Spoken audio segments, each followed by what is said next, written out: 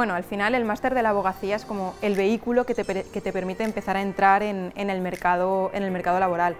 Los docentes son profesionales del, sector que más allá de darte clases teóricas te ofrecen consejos y experiencias que, son de gran utilidad. Indiscutiblemente eh, los compañeros de clase que pasan de ser compañeros de clase a ser compañeros de profesión y al final salir del máster con esa red de, profesionales, compañeros, tiene un valor incalculable. Sin duda el carácter práctico de todas las asignaturas.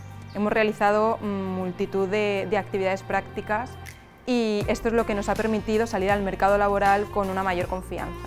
Por supuesto, al final creo que es la forma en la que nos permite dar un paso más para, ser los profesionales que esperamos poder ser y que sean los profesionales del sector legal con los que luego vas a trabajar los que te corrijan y evalúan tus errores tiene un valor inmenso.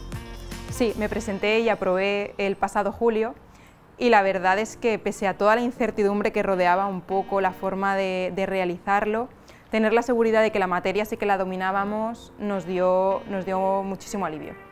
En el medio plazo yo diría que, me encantaría poder, poder acompañar, poder asesorar a todas aquellas empresas que o quieren, em, quieren posicionarse en el sector o que ya están consolidadas para, para, convertirme en su partner, un poco darles un valor diferencial, no solo asesorándoles en temas legales, sino también estratégicos.